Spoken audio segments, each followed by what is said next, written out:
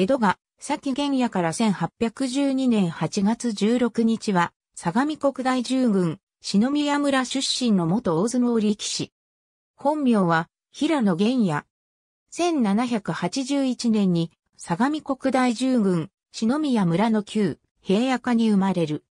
1794年に桐山部屋へ入門、1795年3月場所で初土俵を踏んだ。四股名は出身地の軍名にちなんで大隅とした。1797年3月場所から3段目、昇進が決定した際に四股名を荒馬に変更した。その後も順調に出世していき、1798年には久留米藩有馬港の抱え力士となった。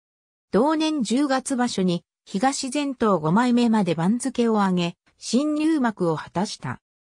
1804年3月場所には関脇に昇進、1810年2月場所からは江戸が先を襲名し、江戸、本所の恵光院境内で行われた同年10月場所では、東前頭筆頭に位置し、5日目に当時無敵を誇った雷電ため上門に勝利する主君の星を挙げた。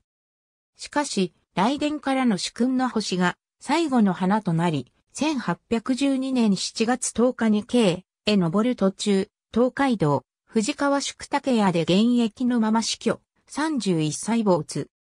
江戸が先の死因については、急病、岡崎城下で武士とのいさかいの末に、無礼打ちにされたなどの説があるが、同地の自社で発生した火災の消火活動中に、事故死という説が有力である。江戸が先の墓は、愛知県岡崎市の正明寺にあり、その後分骨されて、故郷、神奈川県平塚市、篠宮の高林寺内の平野家の墓所に埋葬された。戒名は、キャン、誉田祐鉄古寺。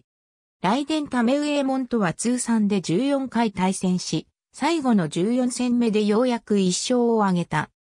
雷電為上右衛門が生涯歴した黒星はわずか10で、雷電為上右衛門に一度でも勝利したことのある力士は、大相撲の歴史で10名しか存在しない。江戸が、先はこのうちの一人に数えられたことで、大相撲史に名を残したが、最終的に来年ため上門から勝利するまでの対戦回数14は、勝利した10名の力士では最多である。しかし、篠宮の歴史再発見事業活動委員会の広報誌は、急病説を採用している。境内に墓碑及び1847年建立の供養碑が寺の入り口に現存している。